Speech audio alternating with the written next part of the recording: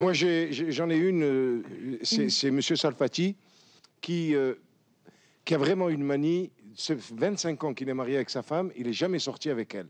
Tous les soirs, il va, il fait la bringue avec les copains au faubourg Montmartre, il va manger le couscous, un jour la choucroute, un autre jour. Enfin bref, il fait tous les soirs la fête. Et un jour, il se réveille, je ne sais pas ce qui lui arrive, il se rend compte que c'est les 25 ans de mariage, l'anniversaire des 25 ans de mariage.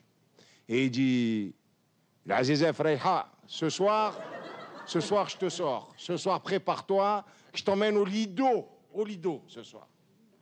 Alors, elle, elle va toute la, toute la soirée. Pardon, excusez-moi la caméra. toute la journée, elle va chez le coiffeur. Elle va, elle s'achète la plus belle robe. Enfin, elle est prête à 8h30. Lui, il arrive, il met son, smoking avec le nœud pape euh, rouge, avec la pochette blanche, chemise blanche, vraiment bien assortie. Aucune faute, aucune faute de goût, aucune, aucune. Et ils rentrent, ils prennent le taxi et ils arrivent au Lido. Et ils arrivent au Lido. Le chasseur lui ouvre, la- porte du taxi. Bonjour, madame. Bonjour, monsieur Salfati, vous allez bien? Sa femme, lui dit Tu es déjà venu ici? Il dit Non, jamais de la vie. Il dit Comment il te connaît, celui-là?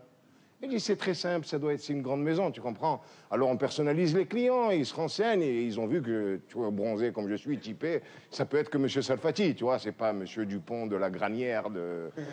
Il dit d'accord, bon, très bien, elle avale la couleuvre, elle- il rentre comme ça, il s'essaye, le, le maître d'hôtel arrive, euh, avec- donne le menu et dit alors Monsieur Salfati, euh, les hors d'œuvre comme d'habitude, pas beaucoup d'ail, hein Pas beaucoup d'ail. alors sa femme lui dit tu vois que tu es déjà venu ici, mais tu n'es qu'un menteur, c'est pas possible de me mentir à ce point. Comment il sait que tu manges pas d'ail? Il dit mais ils ont dû se renseigner, ils font leur enquête, c'est une grande maison, ils font leur enquête et puis c'est ne t'inquiète pas, ça va aller quoi, euh, c'est pas grave et puis il y a pas de mal, même si j'étais venu, je te dis que je suis pas venu, crois-moi quand même. Bon, elle, avale encore ça. Le spectacle commence. Les danseuses du Lido, elles arrivent. Vas-y, fais-moi un petit peu de musique.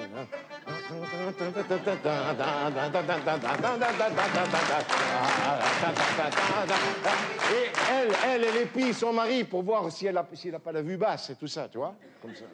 Elle regarde comme ça. Et à un moment donné, les danseuses, ça passe, il y a un magicien qui arrive.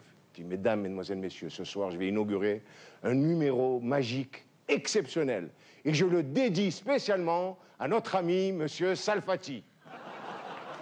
Alors là, elle lui dit, tu te fous de moi. Alors là, tu es un saloperie, tu une pourriture, tu m'as menti. Elle prend son sac et elle s'en va. Lui, il la suit. Elle rentre dans la voiture, dans le taxi. Il arrive à rattraper la porte. Il rentre quand même et elle lui dit Es une pourriture, tu es une merde. Qu'est-ce que j'ai fait de me marier avec un fils un- de famille pourri, que d'où tu viens? Mais es une catastrophe. une Et encore, je passe les mots parce que je suis devant la télévision, parce que j'ose pas dire ce ce qu'elle lui a dit. Et à ce moment-là, le chauffeur de taxi dit Monsieur Salfati, on en a transporté des salopes, mais des vulgaires comme celle-là, jamais, hein